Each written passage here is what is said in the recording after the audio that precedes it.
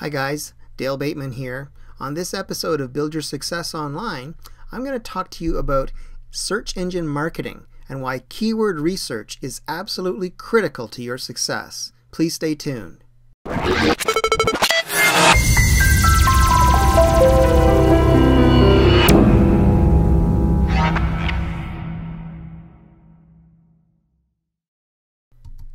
Alright guys, let's get right to it. Today we're talking about SEM, Search Engine Marketing. This is a step that is absolutely critical for you to have success online. Why? Well, essentially, at least right now and for the immediate future, the thing that determines how much traffic you get to your site are the search engines.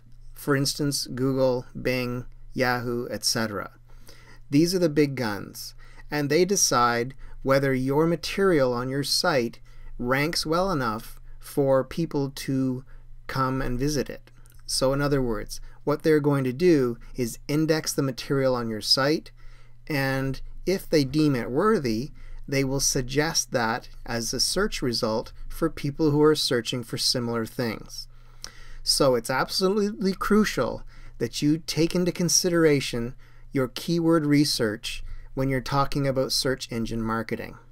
Now, I've got a cool thing for you today. I've got an actually a professional video that I've prepared for you to run you through the basic steps of keyword research. So, without further ado, I'm going to run that right now. Afterwards, I'll be right back and we'll talk a little bit more about it. Okay? So enjoy the video. In this specific video, you're going to learn how to do basic keyword research and create a site plan.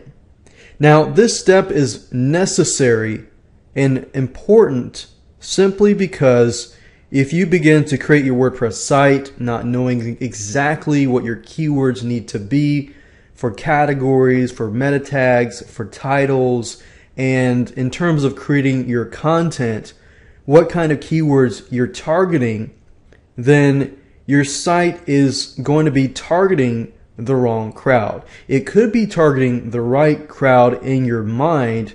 However, it it's going to be a lot easier. It's going to make your life a lot easier if you do the proper keyword research.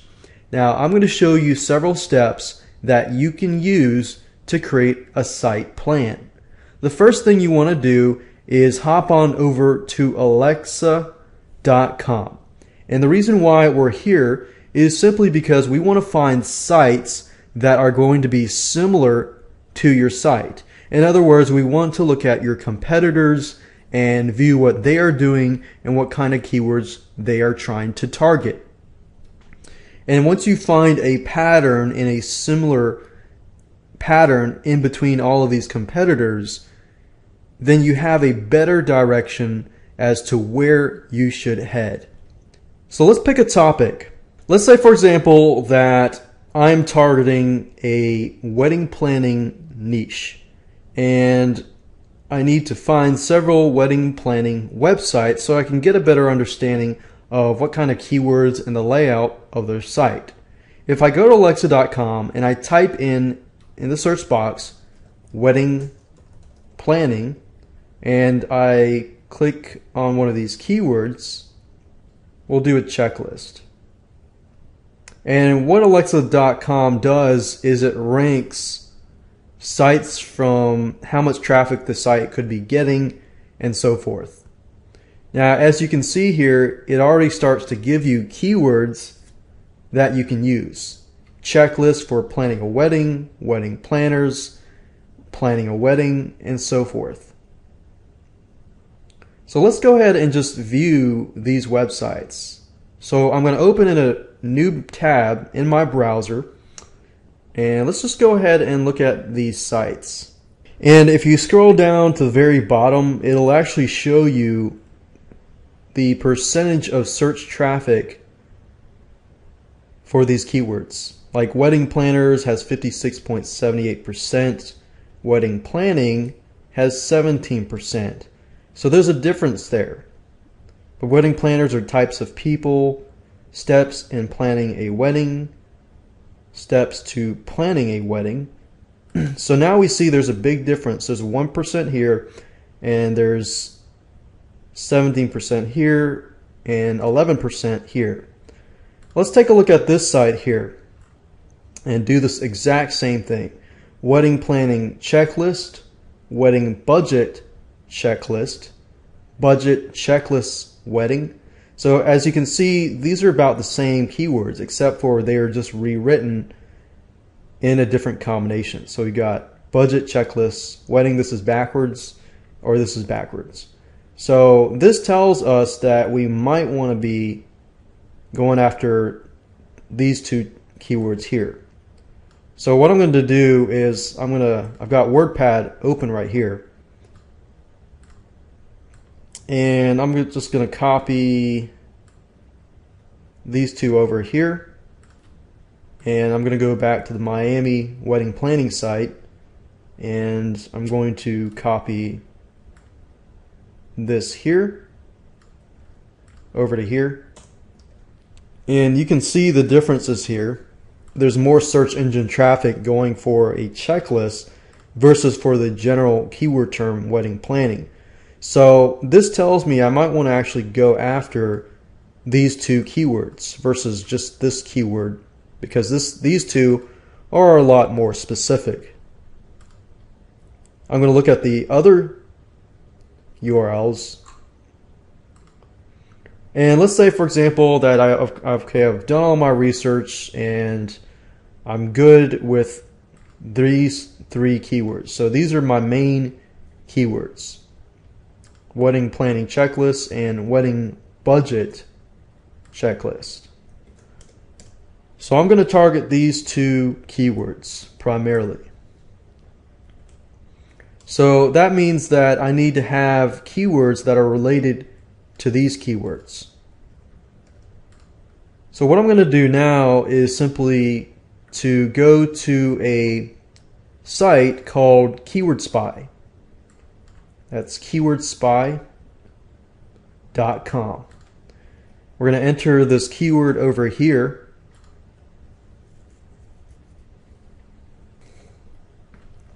And what this does is it gives you a list of keywords that and they will also tell you the CPC, which is cost per click, and the search volume that each keyword is getting. So this kind of gives you an expansion of the keywords that you entered.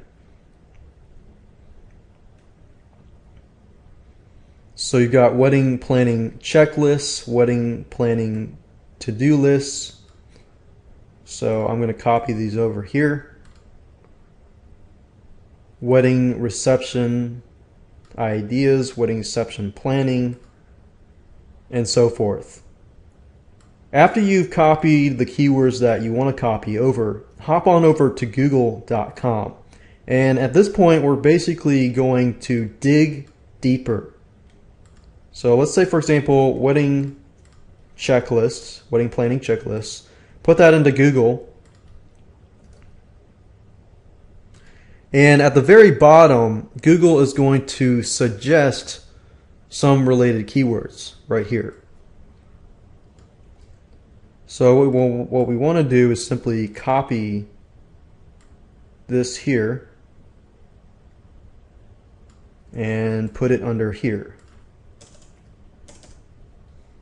And then after you do that, you can simply go find the Google Keyword Tool which is at the very top. And if I go back to WordPad, this is going to be my main keyword, wedding planning checklist. So let's say, for example, I want to eventually rank on the wedding planning checklist. Printable wedding plan printable checklists. We could budgets so these right here could be categories. Timeline, planning, checklists, dresses, invitations, and so forth and so forth. And let's say under the wedding wedding budgets, or we'll type in wedding invitations. We're going to do a search in Google Keyword Tool. And the reason why we're using Google Keyword Tool is because the Google Keyword Tool gives us a lot more ideas and it digs down into each category. So what I basically did was created a bunch of categories. These are going to be categories and under each category you have a list of posts or pages and things like that. So under wedding invitations you could have custom wedding invitations, printable wedding invitations, and so forth and so forth. Now Google Keyword Tool actually gives you statistics in terms of how many local and global monthly searches there are, how much competition is it for each keyword, and so forth. So you could even focus on low competition or medium competition. For example, I could go here and click on advanced options and filters and can make the competition low, do a search,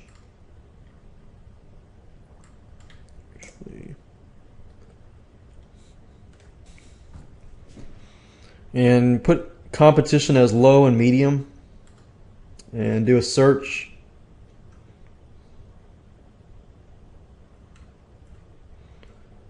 And get some more ideas. I can just focus on low and medium keywords that just means how much competition is trying to rank on that keyword.